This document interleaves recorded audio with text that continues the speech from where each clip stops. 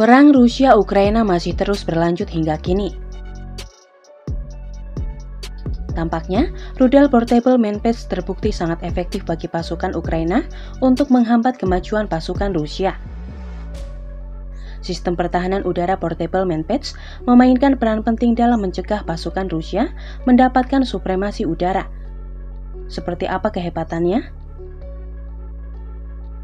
Manpage juga mampu menghentikan jalan pasukan Rusia ke kota-kota besar Ukraina. Senjata anti-armor infanteri ini juga terbukti sama bergunanya bagi pasukan Ukraina yang melawan musuh di darat.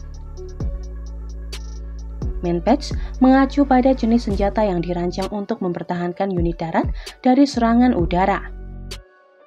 Rudal ini terdiri dari motor roket yang dipandu menuju target oleh sistem panduan elektronik. Sebuah hulu ledak di ujung rudal meledak saat mendekati target yang mampu menjatuhkan pesawat. Rudal lengkap terkandung dalam tabung, tempat mekanisme penembakan dan penunjuk yang terpasang. Seluruh main patch dirancang untuk dibawa dan ditembakkan oleh satu orang dan beratnya tidak lebih dari 20 kg. Sistem rudal anti pesawat portable manusia ini adalah peralatan pertahanan tingkat rendah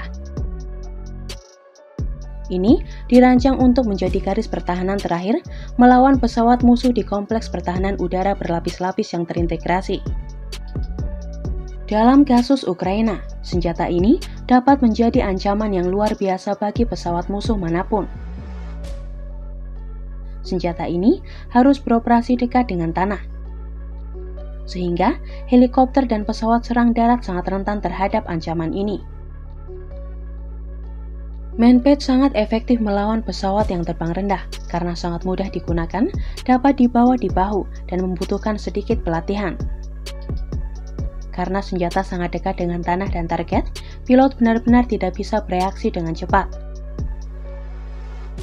Senjata ini digunakan luas di Ukraina karena kecil dan dapat dengan mudah diselundupkan melintasi perbatasan.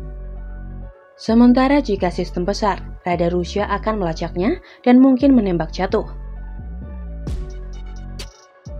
Ukraina saat ini menggunakan Manpace FIM-92 Stingers dan Javelin yang ikonik yang dikembangkan oleh Amerika Serikat.